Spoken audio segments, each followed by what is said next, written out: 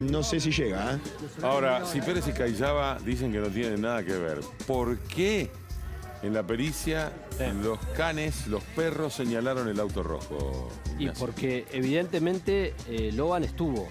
De hecho, en la declaración se encarga de decir Caixiaba que subió a la familia de Logan, a los hermanos, al auto. ¿Por qué?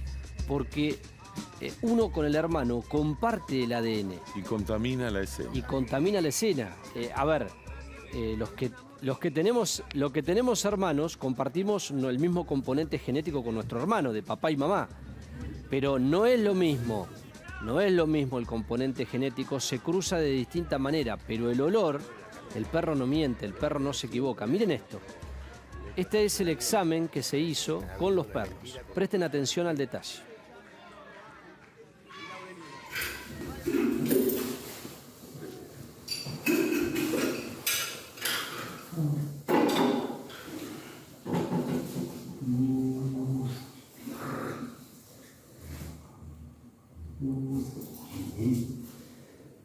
Están haciendo oler algo. Claro.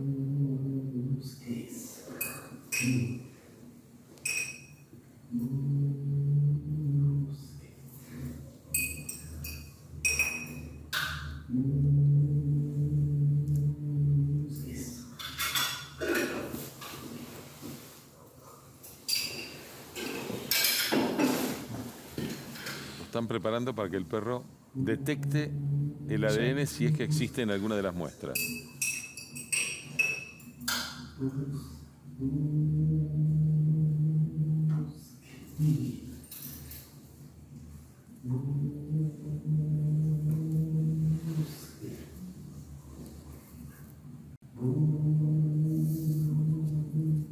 El perro le están exhibiendo el rastro.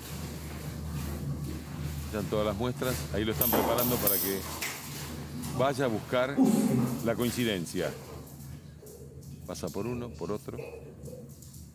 Merodea hasta que marca uno.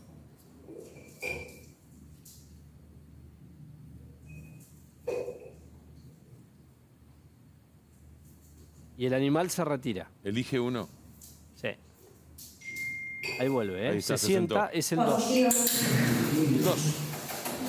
Y la perito marcó el positivo. Es decir, el perro, que tiene 50 veces el olfato de un ser humano, detecta el olor.